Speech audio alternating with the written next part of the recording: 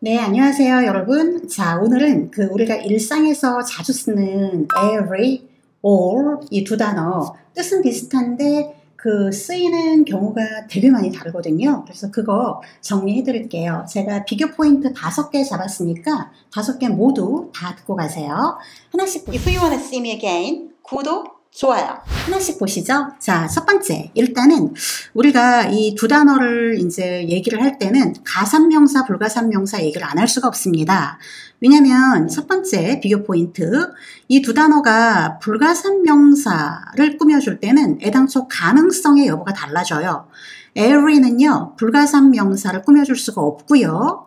all만 불가산명사를 꾸며줄 수 있습니다. 그래서 이제 예문을 하나 직접 적어보면 나는 모든 음악을 좋아합니다. I like 예, 이때 우리가 선택할 수 있는 초이스는 all만 가능하다는 얘기죠.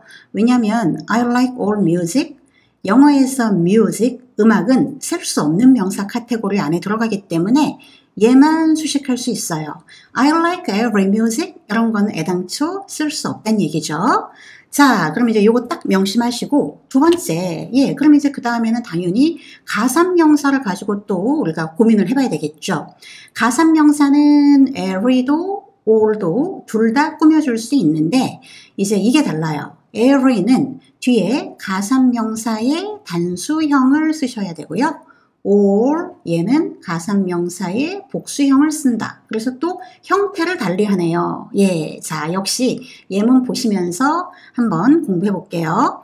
모든 아이들 요거 들어갑니다. 예, 첫 번째 every로 시작하자면 아이들, 예, 이제 사람을 표현하는 명사는 모두 다 쓸 수 있거든요. every 뒤에는 가산명사의 단수형을 쓴다고 했으니까 이렇게 가겠네요. 그죠? every child, 주어가 단수니까 동사는 현재형에 s 붙여주시고, 음, fairy tales, 그죠? every child likes fairy tales. 이렇게요. 자, 근데 이거를 갖다가 all로 시작을 한다면 all 얘는 뒤에 가산명사의 복수형 쓴다고 했으니까 예, child의 복수형은 children 예, 형태가 좀 많이 바뀌죠? 외우셔야 돼요. 예 그리고 주어가 복수니까 like는 예 그대로 가고요. 현재 시제 그냥 가죠? 요렇게 예 그래서 every child all children 요렇게 이제 두 개의 가산명사의 경우에는 형태가 달라진다. 명심해 주셔야 됩니다. 자, 그럼 이제 요거를 정리를 한번 해보면서 예외까지 또 한번 공부해 볼게요. 예외. 음. every 뒤에는 가산명사의 단수, all 뒤에는 가산명사의 복수, 방금 얘기했는데 여기서 딱 한 가지 예외가 존재해요. 어떤 경우냐면 every가 뒤에 숫자를 동반하면 그 뒤에 나오는 숫자 숫자에 맞게 복수명사가 나옵니다. 그래서 이제 이한 가지 예외를 우리가 예문에서 또 한번 보고 넘어갈게요. 그는 3시간마다 나한테 전화합니다. 음, he calls me. 예, 나에게 전화하는데요. 3시간마다, 뭐, 얼마 얼마 주기마다 할때이 표현 쓰시거든요. 그래서 이제 every 3시간이라고 했으니까 3 hours 하면은 이제 문장이 마무리되죠. 예, every 바로 뒤에 숫자가 나왔으면 이 숫자의 영향을 받아서 명사는 복수로 갑니다. 그래서 이게 every가 복수명사를 동반하는 단 한 가지 예외에 해당한다고 보시면 돼요. 자, 그러면 이제 그 다음 비교 포인트 보실게요. 음, 어떤 거냐면 시간 명사를 꾸며줄 때, 예, 둘 다 시간 명사를 꾸며주죠. 근데 해석하는 방식, 의미가 아주 싹 바뀌죠. 음, 일단은 여기 한번 볼게요. every day, all day 뉘앙스의 차이. every day는 매일, 그죠? all day는 뭐예요? all day 하루 종일, 그죠? 예, 하루 종일 그 뜻. 음. Every night 하면은 매일 밤 밤마다 이 뜻이고요. all night 하면은 밤새, 그죠? 밤새도록 그 뜻이네요. 그죠? 밤 내내. 이렇게. 그래서 그는 매일 밤 술 마셔. 그러면은 이제 이쪽으로 활용하셔야 되겠죠? He drinks every night. 이렇게 가는 거고. 나는 밤새 술 마셨다. 그렇게 하실 거면 I drank all night. 이렇게 가는 거죠. 음, 그 뉘앙스 그대로 every week 또 적용하시면 됩니다. every week 하면은 매주, 그죠? all week 하면은 한 주 내내, 한 주 내내. every year 하면은 매년. 그 다음에 all year 하면은 1년 내내가 되겠네요. 그죠? 1년 내내. 어.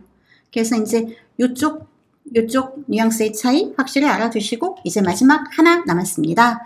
자, 전치사 of를 동반하는 경우에 관해서 볼게요. 이것도 이제 가능성의 여부가 아예 달라요. every는 절대로 그 뒤에 of 전치사구를 갖다가 붙일 수가 없습니다. 뭐 every of my friends 이런 거 있을 수 없어요. all만 가능하죠. all of my family, all of my students 이렇게 그죠? 예, all of the information. 어, 그래서 all만 뒤에다가 of 전치사구를 붙일 수 있다. 음, 안 되고 되고의 차입니다. 예, 자 예문 하나 보고 이제 마무리할게요. 내 친구들 모두 음, all of my friends like BTS. 그죠? All of my friends like BTS. 이렇게는 가능하지만 이 자리에다가 every를 써서 every of my friends 어쩌고 저쩌고 하는 건 아예 못한다는 얘기예요. 그죠? All of 가능합니다. every of는 안 돼요. 음. 그리고 all 뒤에 있는 of는 생략하고 그냥 all my friends 라고만 하셔도 괜찮습니다. 예, 그런데 every는 of를 애당초 붙일 수가 없기 때문에 뭐 이걸 생략하고 every my friends 이런 것도 없어요, 여러분. 예. 그래서 of 전치사 구 붙일 수 있는 거 all밖에 안 된다는 거 다시 한번 강조하고 제가 다음 시간에는요. 요 all만 가지고 조금 얘기할 게 더 있어서 그거 강의 준비해 가지고 올게요.